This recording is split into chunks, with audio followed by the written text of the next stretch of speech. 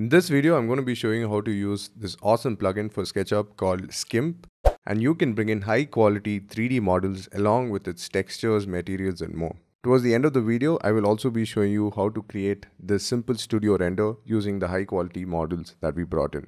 Before I head to the video, if you want access to Skimp, there is a 30% offer which is going on and you will find it in the description below. Now without further ado, let's jump straight to the video. Alright, to start off, you can click on the link in the description and open the Skimp website. Skimp is a plugin made by this company called Mindsight Studios and they have a lot of other cool plugins as well which you can check out. So Skimp is a simple plugin which helps bring in high quality 3D models. What do I mean by high quality? Basically models which have a lot of polygons in them and it would be rather heavy if you bring it directly into SketchUp using the file import option. So we use Skimp instead and you can bring in the model, adjust the polygon count and a whole lot more which we would be showing you shortly. So to install Skimp, all you need to do is click on try it free and you can click on add to cart. Now you can click on accept. You can click on checkout, put in your details. You can opt in for the news and special offers if you'd like. Click on next and click on submit order. So now you'll get an email with the license key for your 30 day trial so this is the mail which we get and we also get the trial license key. So now we need to download the Skimp RBZ file. So click on go to my purchase and then click on continue to download Skimp.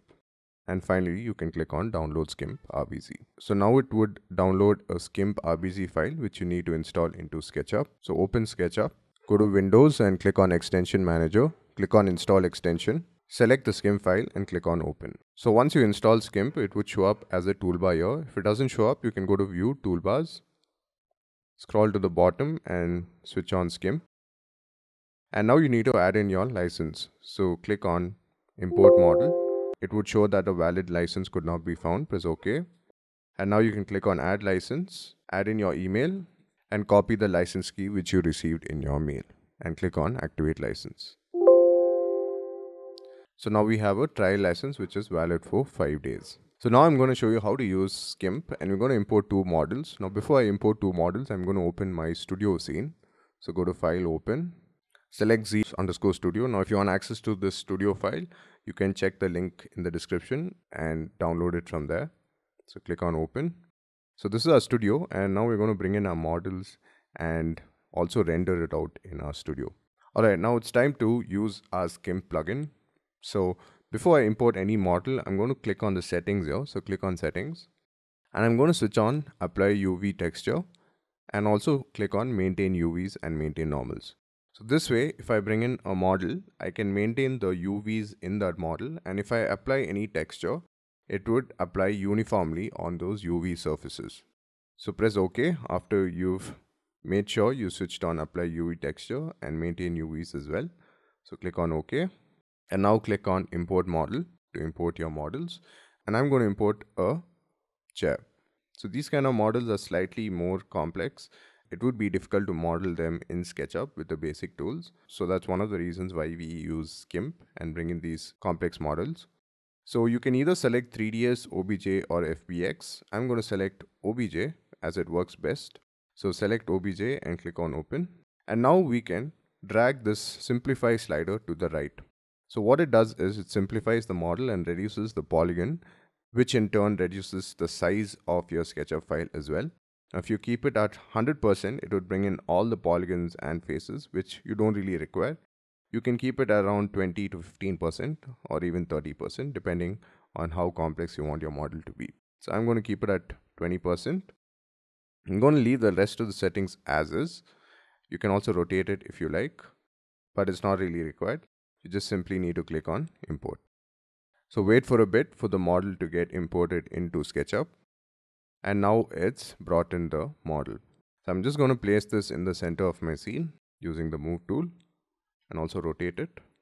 If you want to learn how to use the basic tools in SketchUp, you can check out my free SketchUp basics course on YouTube. Alright, so now we need to apply the material. As you can see, since I switched on apply UV texture and maintain UVs, it's maintained the UVs of this model. So all these are UVs and they are normal to the face. So if I bring in any material, it would apply uniformly and correctly on the model. So to apply a texture, if this model has a texture, you can click on this replace texture tool And now you need to hold control on your keyboard. It would change to this plus icon here and bring in a new texture. So you need to click on the model and it would open this dialog box where you can select the texture for this model. So go to textures, I'm going to select textile, click on open. So now you can see that it's applied properly on the model and I need to apply my wooden legs as well. So again hold control on your keyboard, click once and select wood and open. So now we've applied our model. Now let's check this in our interactive render I'm using V-Ray 5 for SketchUp, which is a great render engine. So let me just set this up properly. Go to my asset editor, switch on interactive, use the NVIDIA AI denoiser, and then click on render with V-Ray interactive. It looks great right off the bat, but I could adjust the fabric material and also this material here and also give some reflection for the wood. So what I'm going to do is I'm just going to add a image to the history so that I can see a before and after. So stop the render, create a scene as well so that I don't lose that scene. And now I need to adjust the material. So we need to add a fall off map for this chair here. So I'm going to select this fabric. So this is our textile material here. I'm going to right click, wrap in, scroll down and click on fall off. I'm going to copy this texture slot and paste it here and again add a color correction and increase the brightness. So what it does is, let me just reduce the brightness a bit. So what it does is it makes the tangents brighter. So generally in fabric materials, when you notice fabric material in daylight or under light, the tangents always brighter than what you see right in front of you. So now you can see the difference when I make another render, interactive render that is. Also change this to fabric. Alright, great. So now let's go back to scene 6. And one last thing which I need to do is also apply some reflection for our wooden material. So go to reflection, add some reflection here. Alright, looks good. And click on render with V-Ray Interactive. So you can see that difference right away. I forgot to apply the material for this thread here. So let me just stop the render. Again use the replace texture tool, hold control on keyboard, click there, select the texture and boom, it's done. So now let's go back to scene 6, render with V-Ray Interactive and see how good that looks. Awesome. So now if you want to see a before and after, I'm going to add this to the history box again. Let this be A, this will be B. And now you can see the difference by applying a fall off map. Alright, so before I let you guys go, I'll import a light model as well.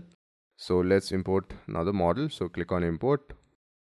So I'm going to import this light model. Click on open and again you can simplify this model keep it at 20% that should do click on import if the model is modeled in the right units it would bring in in the correct scale as well all right so we modeled our lights and we're just going to place this in our scene place it at the back a bit.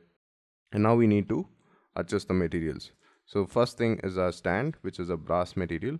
So let's click on replace texture tool hold control on your keyboard click there once and select the texture which is brass in our case.